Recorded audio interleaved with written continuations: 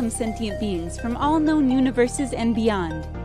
It's time to activate your cranial downlinks and prepare to receive a raft of discussion on a cosmic ocean of science fiction and fantasy topics, interviews with local area genre devotees, and insightful prognostication by our soothsayers of science fiction, our forecasters of fantasy, and any other beings that happen to get caught in our gravity well. This is the Galactic Driftwood Podcast.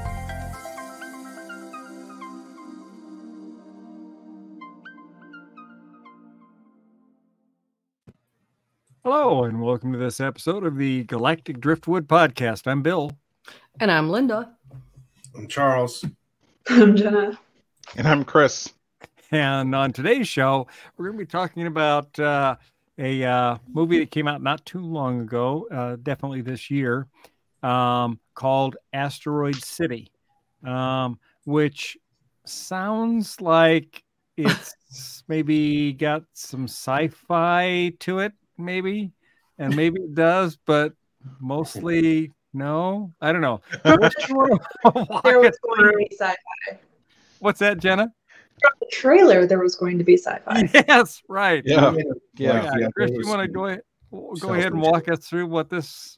Is? Yeah, so I'll I'll give the plot summary here uh, off a website, and and really it it's kind of a a play within a play, story within a story, if you will. So there are three different storylines in Asteroid City. Okay. First, there's a Bryan Cranston, a 1950s TV host who introduces audiences to a live televised production of the play within the movie Asteroid City. Okay. There's a play within the movie Asteroid City. Second, there is a behind the scenes story of how the play came to be. Uh, this includes the playwright Conrad Earp, who's played by Edward Norton. He's got a kind of a weird um, accent in this one. It's kind of strange. Uh, mm-hmm. the play's director, Schubert Green, uh, played by uh, Adrien Brody, and the entire cast. The lead actor, who's Jones, uh, played by Jason Schwartzman, has a romantic affair with Conrad, the playwright. Um, so that's kind of the second part of it. Um, you're going to hear a lot of actors' names because this is a fully casted, full of stars, very star-studded. Yeah. Um, yeah. movie slash play slash film slash bunch of things.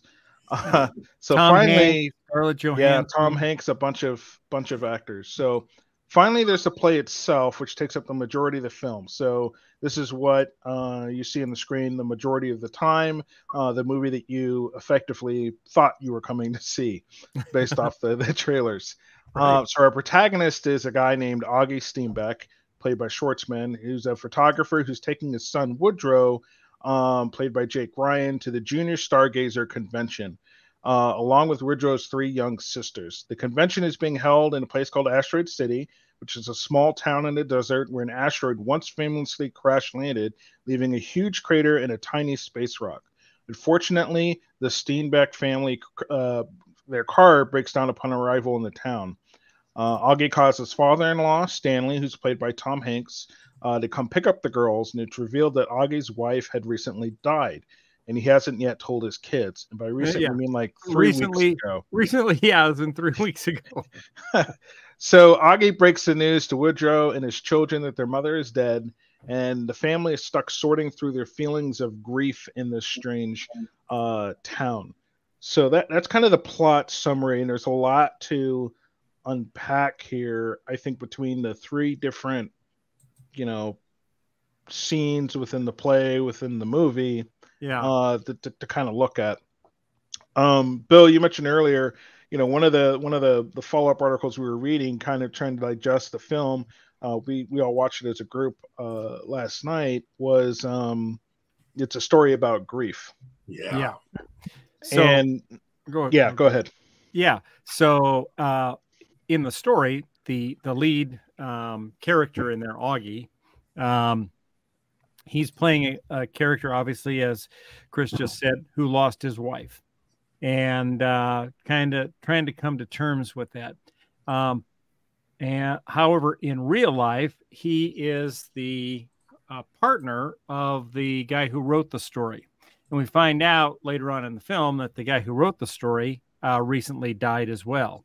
So the actor is trying to come to terms with his grief over the loss of his um, significant other, lover, whatever.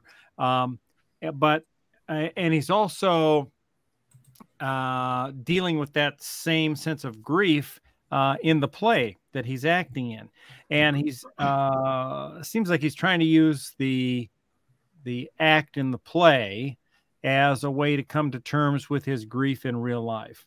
And we actually see at the end where um, he kind of walks off the play towards the end. There's like a six minute break where other actors are doing things, and he goes and finds the the director, and he says, "Well, you know, am I doing this right? What what's the point? You know, what's the point of this this movie, right?" And the director basically says, "Don't worry about that. Just keep doing what you're doing. You're doing great."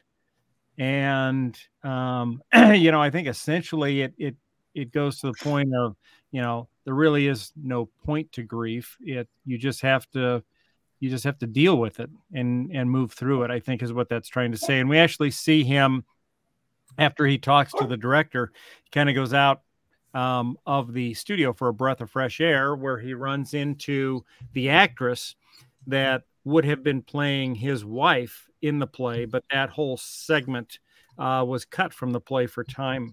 Um, but he asks her uh, to kind of go through their scene because he wants to know what he's missing. What might he be missing from that that part? And it was kind of interesting in that, you know, she's kind of going through both of their lines. She's reading both of their lines, telling him what they are, and and uh, she says uh, the the uh, the wife in the play tells him at one point, "You need to move on and go on with your life and and continue living," kind of a thing. Mm. And um, so I think that's kind of the message for the thing. And he actually, you know, during the course of the uh, the play, uh, falls in love with one of the the actresses, which happens to be Scarlett Johansson's character, Midge. And um, yeah, and we see at the very end, um, everyone's kind of left Asteroid City after this all rigmarole that we'll get into went on, and he gets a note. He goes into the the town's diner with his kids for a, a meal there before they leave, and and the uh, the uh, waitress gives him a note from Scarlett Johansson's character that with her uh, PO box address so he can reach out to her, indicating you know, and then we see them leave town, kind of indicating that yeah, you know, life goes on. It's time to move on to the next chapter, kind of a thing. So, um, any three uh, weeks after the wife's death, though, I'm going to say she's a rebound, but you know. yeah, right. I mean, are you gonna say no to a Scarlett? No, never, never. I mean, his wife was portrayed by uh, Margot Robbie. Um, so I mean, he was doing pretty well. So I'd be pretty heartbroken about that. But still, right. right. He, uh, he, you know, the the strange thing about him, kind of, I, moving on is it doesn't feel like it's moving on for him. So I feel like you don't it takes the whole film for him to basically start processing his grief. Yeah. Right. And it, it doesn't really start to happen until he starts talking with with Midge. Despite everything else that's going on um, in the film, uh, there's a lot of different things going on, and we'll talk about this scene and a bunch of other ones. So, um, one of the ones I thought was interesting were all the kids that were there um, for the science convection convention. Yeah. And all the different inventions that they kind of had.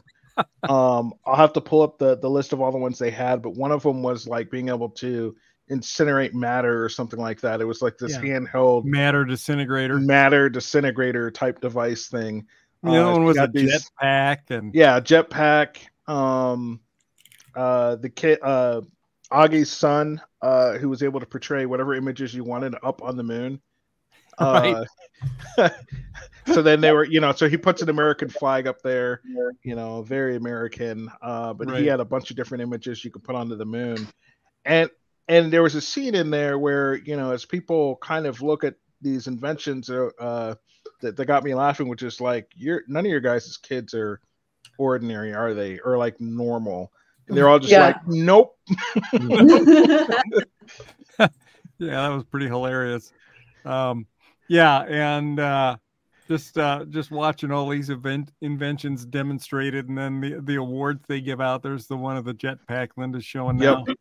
Um, uh, yeah, it was uh, it was pretty hilarious, and uh, I like I how like the string the, is uh, just- I like how the string is just a, like wrapped around his ankle. Yeah, Yeah. that'll be good enough.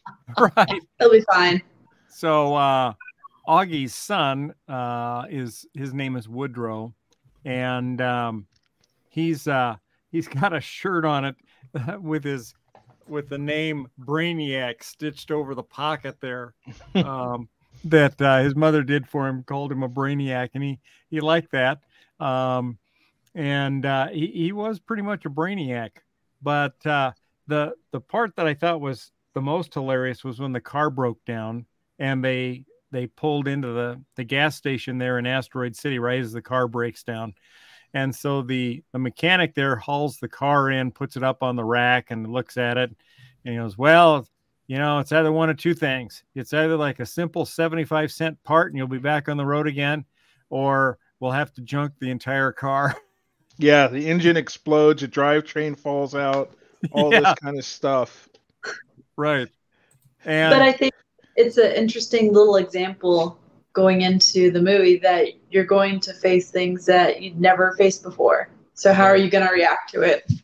right. Yeah, so that car in the background there, that's perfect timing. Uh, Yeah. is the one he points to when he says, uh, "Otherwise, your car ends up like this." you Yeah. know, sold for Sold for scrap. scrap. Yeah. So go ahead, Bill. and then it and then it actually turns out to be a third thing so you know it's it's kind of like a binary choice and you know it, the fact that it ends up being a third thing is kind of true to life right? Very rarely is life a binary choice.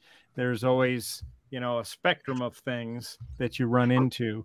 And uh so the the third thing is hilarious. I don't know what fell out of the car but it's twisting and sparking and hopping around and they have to like smother it with a fire extinguisher to get it to stop Yeah, and the part he puts in is this tiny little thing that honestly is not Nothing. it's not a real car part or anything. no Uh, like like it's not something that that any you know machine mechanic or whatever would would recognize. So he screws this thing in.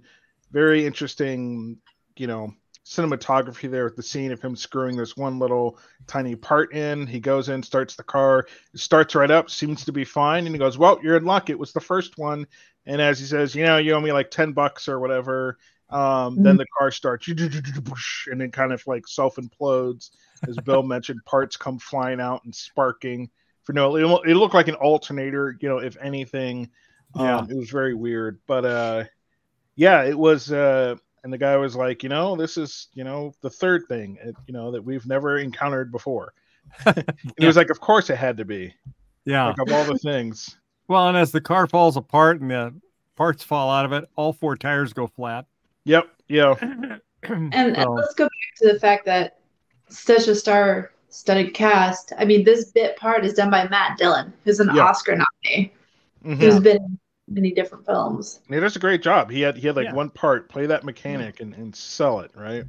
yeah, Yeah. and uh steve carell's the uh the hotel owner in asteroid city motel owner i guess right That and, Yeah. check-in process was hilarious. and he's got Uh, all these vending machines one of which sells real estate. land, real Yeah. estate. And That's so he's constantly trying to get people to buy tracts of land. And they're like, well, what about water? And he says, no water. This is a desert. yeah, so that colorful wall behind him was all the uh, vending machines of different types. Um, so I, in the beginning, I think we agreed as a group that you needed the martini vending machine. Yes. Yes, We need to get that on the veranda. um, there's a scene where in the near the beginning where everybody starts to check in, and one of the guests um, uh, comes to find out that their room had burned down. So Steve, uh, uh, I think it was Steve Carell was explaining, Yeah. you know, hey, yeah, we went to put in a bunch of upgrades and put these components in and these other components, and everything was looking all nice, and then it burned down. So we got to a nice tent with great amenities and you know you'll Yeah. be comfortable and quite sure. And the guy was like, uh, you know, the guy who was checking in was like, you know, I don't, I don't want to sleep in a tent. Like I wanted He's to, yeah. And he's like, yeah, you'll love it. You're just going to love it. yeah. Doesn't listen to his protestations at all. so the camera pans to the right and it's showing all these little rooms that everybody has and then sure enough there's the burned down room that the guy was supposed to have and the tent right next to it getting finished up and it's pretty comical Yeah.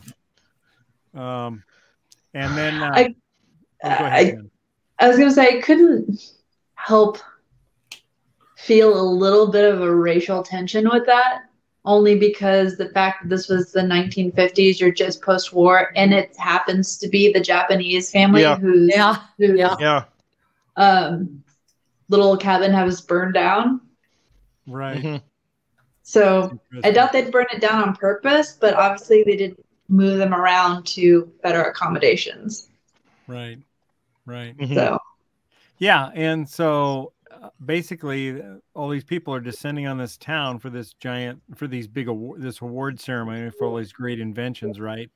And so they're all sitting there in the middle of the award ceremony uh, around the crater of this asteroid that the town's named after, or meteorite, sorry, even though it's called Asteroid City. Um, and uh, what happens? But uh, uh, an alien. real quick Man. before that bill Yeah.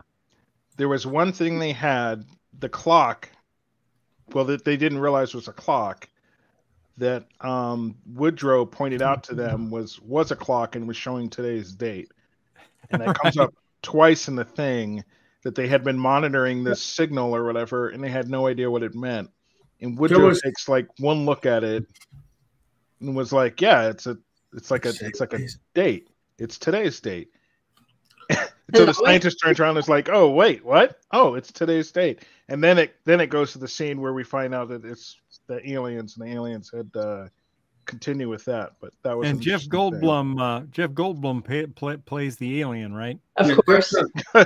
Before you go, there- there's another theory out there. Um, it's it's still the grief theory, but that this was a representation of COVID in Oh. society, Interesting. Mm. and that we were all going through, um, yeah, All grief together lost. Yeah. or loss. That that sense of loss, which is why it's in, in, in towards the end where they have everybody go. You have to uh, in the uh, at the in the play go. You have to go to sleep before you can wake up. Yeah. Mhm. but it played to I think to the COVID uh, to a quarantine problem, right? Yeah. We could we all we all feel like we went to sleep for a year or two. Yeah. Um, Yeah. You can't wake up if you don't go to sleep. And then Yeah. coincidentally, it just uh, what I saw just uh, the Steve Carell character was supposed to be Bill Murray, except he caught COVID Oh, really? Yeah. in real, in real life. Yes. Huh. So they Bill swapped. Murray would have been funny in that role. Steve Carell did well. The Steve Carell did fine. It was just it's an interesting. That's what it was cast for. I see. Yeah, there's Well- the alien and the meteorite. And I mean, the alien comes and steals the meteorite, takes it, and the ship flies off. And then later he brings it back and drops it back after it's been inventoried. That's funny. That was so funny. Well, the whole scene of, of the alien coming down the first time they see it, so they're they're they're all scheduled to look up at um was the moon for like some kind of eclipse. So they're all wearing the Yeah. cardboard boxes and they're looking through the little filter there. Um, and then this green dot shows up and they're like, wait, that shouldn't be there. So they, you know, take the cardboard off and see that it's an alien ship. Well, when that alien comes down to take that meteor meteor, um, you know, at one point, you know, it comes down slowly and it's all eyeballing everybody, right? Looking left, looking Mhm. right. And it's kind of like, I'm just gonna waltz in here and uh yep, I'm just gonna pick this up and uh yep, I'm just gonna back up now and and get back on uh my little mechanism here and uh go back into space and and uh Augie goes to take a a photo and it poses for a second and, and like smiles there like ah. And then it and then it leaves and it's just like what just happened? Just now what just happened? Um and uh later it, Augie shows he developed the picture and you could see it but it was pretty uh that whole like scene was surreal but it was even crazier how they had the alien kind of interact in a non-verbal manner just with its eyeballs and its cues uh, Right. off of that was was pretty ingenious Yeah, it was pretty creative. Um, and I, I like the uh, I like the uh, the set for Asteroid City. Uh, it's just like this city. Uh, well, I say city. It's like a you know a, a one dog town essentially, right? Mhm. So it's got a diner, the motel, the uh, astronomical uh, observatory, um, and that's about oh, and the gas station Mhm. and that's about it. And um, but yeah, but it's it's uh, it's very well done. You know, 1950s is when it took takes place, and uh, you know they got all these uh, classic cars in there, and uh, the diner looks like a 50s diner, and um, and uh, You have- Explosions being tested in the background. right Yeah. nuclear bomb. Nuclear going off. bomb testing. Yeah, and they're they they hear the the diner windows rattle in this big boom, and they run out, and Augie's got to get a picture of the mushroom cloud going up in the distance. You There got the gun shootout happening randomly all the time. The cops and the cop on the bike chasing whoever it is in the in the car. Yeah, that's like a recurring thing. Every every so often, the cops go racing down the road, chasing bad guys, having a shootout. in the middle of nowhere. Yeah, middle of nowhere, and there's a uh, right in the middle of town. There's like a on ramp to a highway. Oh, that's right. Uh, but the on ramp, you go up and the on ramp just ends, so it says indefinitely closed Yeah. because it doesn't go anywhere. yeah, which I guess maybe is uh maybe that's a metaphor for the town. Nobody there's really going anywhere, right? Yeah. Well, the whole town is like so. Though going back to what Charles was saying, you have to uh, go to sleep in order to wake up, or you have to wake up. You have to go to sleep. That theme that the actors in some of their um, brainstorming sessions with the director before he died, they had it. And one interpretation I read of that, and it does make sense to me. If this is a film about grief, is you have to let it go and just get involved with something else. You have to like, give yourself a break to heal from whatever you're grieving. You have to just get lost, be a part of something. Do let yourself do something else so that when you come back, you're to that to that grief. Maybe it's a little bit better every time. See, and I, I saw that a little differently. I saw it as, um, you know, you you you uh, you can't wake up if you don't go to sleep, and I I interpreted that as, you know, you can't move beyond grief if you don't let yourself experience Go it through it, and deal with it. That's kind of that's kind of kind of how I saw that that message, but um, that's not, you know, Because in a way, like the town was them getting away from the real life and their grief Sure. and everything to for a moment to be distracted and to find new ways to process that, even if they don't realize they're processing it. yeah, yeah, And I think that's why it's so ambiguous, is because it leaves it up to open to uh, interpretation. yeah, Yeah, that's what I was about to say. It, it's it's what you take away from it. What it gets you thinking. We're talking about it now, right? Uh, Right. How do we take that away in terms of how we process grief or don't process grief? Um, You know, and I mentioned that earlier that Augie, for a good chunk of it, isn't processing any of it. right. You know, and So- and he- the through the whole show he's he, he shows no emotion at all right his entire all of his lines are very monologue um monotone um delivery um Yeah. Well, and, and there was a scene where he has this internal the, the silent outburst, but but also physical at the same time when he's talking to Midge and he he puts his hand onto the the the quick burner and, Oh, yeah. Oh, burns that's it. right. Yeah. You know, um, and, and that you know, I I don't know if that should be interpreted as him bottling it up, and and it's really what he feels inside all this pain. Um, you know, is he's trying to We finally feel something. yeah, he finally feels yeah. something. that's Yeah. what i was thinking is that When I, Yeah. when I realized this was about grief, I went, "That's they nailed it." I think for Yeah. for the period of time anyway, because I know I've there's a you know back when or whatever, but but um, it seems to me that when, when something when someone close has died or that um there is a period where you're just emotionally off, you can't get excited or angry, yeah and it you know the bombs could be going off, and you're like, eh. Yeah. and the same thing And with it- the movie actress. You go, eh. Yeah, That's just that's part of I, I don't know what that is, but you're you're um and then something happens. And yeah. It was like he was so separated from his ability to feel anything that he reached down to put his hand on there as a means of actually feeling something. I think is how I saw that. Mhm. Well, and he Which was he I was had completed Band of Brothers. Again, watching that run through. So then coming in and then seeing this, like, oh, he's a war photographer. And I'm like, yep, that makes total sense. Him not feeling everything after going through that. Right. Right. uh he uh you know there, there's all these various stages of of grief and i think uh this film touches a lot of different stages and people maybe at different stages of that grief and i mean he was so confused and lost at one point i mean he admits to his kids um or at least uh um Woodrow. Woodrow and, and Stanley at some point that he was considering.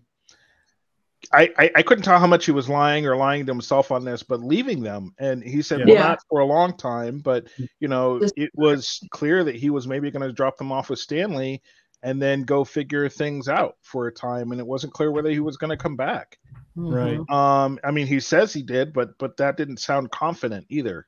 Right. You know, it just sounded like, well, you're here, Woodrow, so I'll tell you. But just so you know, I was going to come back. It was, you know, I don't know Yeah. when, but it wasn't going to be like forever.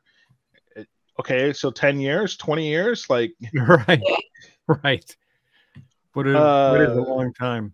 yeah. So he was in a tough spot in this film, but he does, uh, you know, like, there's a there's a back and forth that that Augie has with his um father-in-law Stanley, which is, you know, he couldn't find the right time.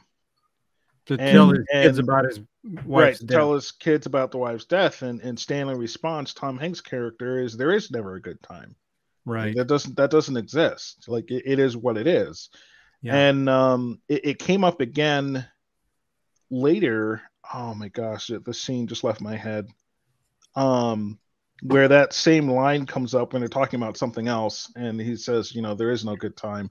And i can't remember if it was stanley talking to someone else who said it or something of that nature but uh, somebody else said it later on and, and it kind of stuck out to me and, and unfortunately there's so much to kind of Yeah. retain in that film it just left me. But um you know midge also seems to be midge's character scarlett johansson uh, was interesting in this one because uh, you couldn't ever whenever they brought her into a scene it was like okay is she reenacting something right now? Is she preparing for another role? Or is this her? Yeah and and so that that also threw me a little bit was like how much of that was midge and how much of that was I, i'm fully investing myself into this character i'm going to portray right? Right. um and so scarlett johansson's character i felt completely a bit um miffed by who she really was because she was kind of mysterious in a way kind of just like this this this photo right here Yeah. um and she remains that way even through the end Mhm. you know she Because- kind of disappears no fanfare She says she's not a good mom. She loves her daughter, but she's not a good mom. But she doesn't feel guilty. She has an idea of what feel get guilt feels like from her character she's played, but if that's what it is, she's never felt it. yeah. So it's so is like she just you, dead inside or like that well, because She the have- childhood, it sounds like she is. Been Uh-huh. her father, her uncles. Sounds like a couple of her husbands have beat her. Mhm. So, I mean, to deal with all that, she just is a blank slate inside, other than this love for her daughter. And then, but the first priority is the film, these Yeah. characters. So do you think maybe you know the attraction that we see between Midge and, and Augie is maybe that they're similar in nature and how they deal with grief? Yeah. That's exactly what she said. She's like, we don't feel anything. We're dealing, we have these grief of situations, but we're not, we're not feeling them. Right. Mm-hmm. Yeah, my favorite scene with her, I think, was the one where it, it opens up and you're, you're looking through the window of her bungalow from the perspective of Augie's bungalow, and mm-hmm. you see her in a bathtub with her arms hanging out, her head turned, her eyes, oh, you know, open, Pills like she's just committed suicide. yeah, pills everywhere. Yeah. yeah, yeah, And then like And- the first thing I, go ahead, Bill. yeah, yeah. And and and it's all just because she's practicing for a role. Yeah, she she Augie finds her and she's like, flip the page whatever, like line whatever. I'm you know, I'm rehearsing this thing. yeah, Well, Mick makes it really creep, uh, creepy for him is like she's the, in a previous conversation she goes through this tirade that she doesn't feel anything and she's probably going to end up in the news or something Yeah. having taken too much pills and died. Right. yeah. And she's then her way. character happens to just go through that and she's practicing the role and at first he's like the fuck. Yeah. yeah, there was I mean there's a lot of little things to unpack with this. yes, Like I'm still trying to figure out the three daughters, which are hilarious. I know. And I You mean the three little witches? yes, No, no, they were a vampire, a witch, and a fairy. Ah, yes, okay. And but the the their grandpa called them the three little witches. Yes. Yes, because of they have their, their three of them. I'm guessing they were triplets. Are running around like doing their own thing, either doing spells trying to bring their mom back from the dead because they have her ashes in Tupperware, or throwing rocks at a roadrunner. Mhm. or playing Right. with motor oil. Like they're they're kind of always hovering this background full of life that their father is missing. hmm right. A moment to engage them, he could They're see. kind of raising themselves essentially. Mhm. I don't know if they're raising themselves or just doing the thing that multiples do, which Chris as a multiple would know about, where they just kind of have their own world. And own language, yeah, that is a thing. Mhm. So like they're they're they're processing their grief in their own way. But they're so full of life that Augie is just kind of like, I guess they're gonna be okay. I'm just trying to figure things out and process these photos and uh, talk to this hot actress. right. Well, uh, so uh, we're about uh, half hour in. Do we want to just go around and say uh, if you like the show and maybe what what you liked Yeah. about it, real quick? So let's uh, start with Charles. I liked it, but I, I think there should have been um I hate there should have been a warning because you go in thinking it's a sci-fi flick and Right. it's not, it's a movie about grief. Yeah. and, And it's a sci-fi play. Yeah, and if you weren't if you weren't in the right headspace, I I, I don't A bit of a rug pull. just I don't which I don't think agree? any of us were in the right heads. I don't think anybody going into that would what be I in the right though, headspace if, for it. if you're if you're actually stuff, I mean, maybe it's a good movie to watch, but I don't think it's a good movie to be surprised by if you were just returning from a funeral and trying to, you know, That's fair. I, I, there should have been some sort of warning, I think. But Right. other than that, no, it was it, uh, if you're into exploring grief, this is a good movie. Yeah. All right. Linda, let's jump to you. Um, I liked it. I don't even if you take the grief part out of it, it's just kind of a weird raw frolic. You know, it's kind of a weird, weird but fun. Uh, kind of a comedy sometimes Yeah. because Mhm. there were Yes. parts where we were laughing our asses off. So yeah, I, I liked it. I thought it was good. All right. Jenna? I really liked it. Um, it doesn't have to make complete sense to me, but as a film in itself, the dialogue was fantastic. I don't think you see many films with that kind of clever dialogue that still feels so natural and it's not all the same person. They all have their own personality. So Yeah. that dialogue is coming out from the perspective versus everyone just being the same kind of clever, if that makes sense No. and then just burying it that you as chris described that it's a play that we're watching as this movie but then there's these background about the the playwright versus what they did to get ready for the play it was just a really interesting take that i hadn't seen before and i really appreciated it for it nice. All right. Chris? Um, yeah, I liked it, and I, as Charles was saying, it, it, it feels like a bit of a rug pull. Uh, if you watch the trailers, I think the trailers were intended to sell it to get people to go see it because if you advertise it as a film on grief, you might Yeah. not get a lot of people that, that show up to see it. And so the best thing you can do is kind of sell it as you have all these actors in here. It must be great, must be funny or Yeah. whatever. And you know what? I think it is a, a, a great film. I think it is funny, um, even though it talks about um, grief. Um, but there's a lot to, to take away from it. I think it's a very smart film. And I think once you get, if you went into it with expectations, I would encourage you to watch it maybe twice, right? Knowing what it is and then having that different mindset going in to watch it the second time.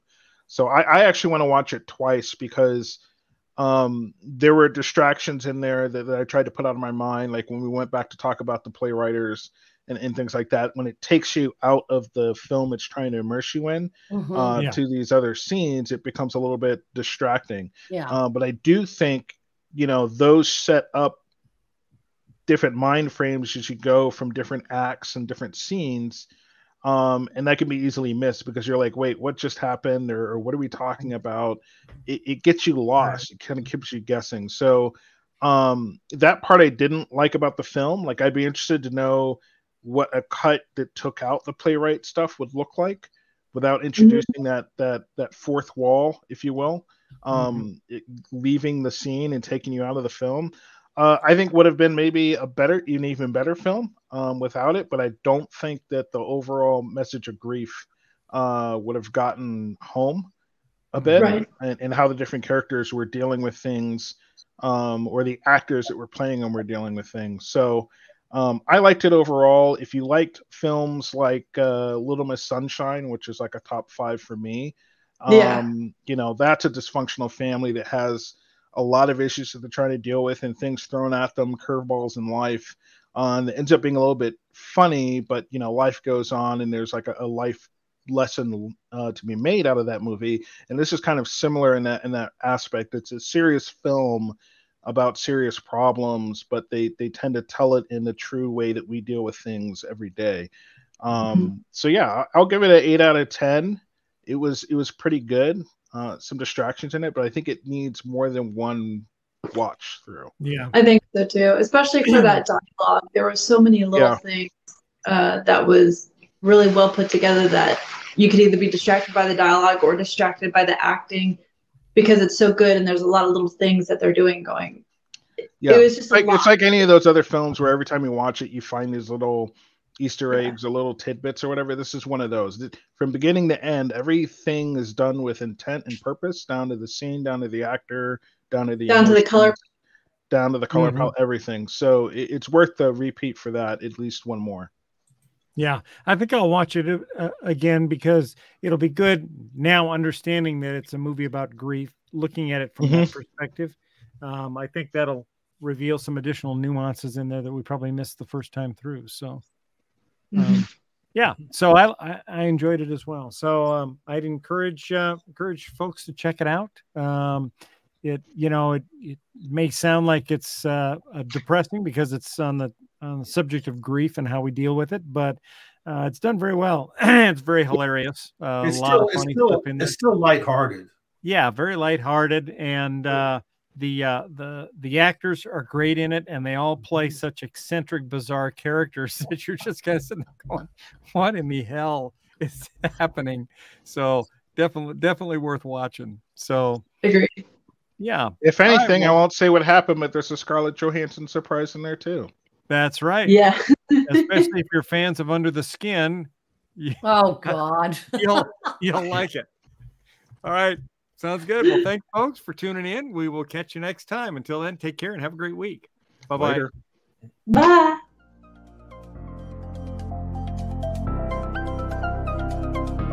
Thanks for listening to this episode of the Galactic Driftwood Podcast. For more information and past episodes, please visit our website at galacticdriftwood.space or subscribe to us on YouTube. And now, please deactivate your cranial downlinks, collect your towels, and be sure to watch your step as you exit our gravity well.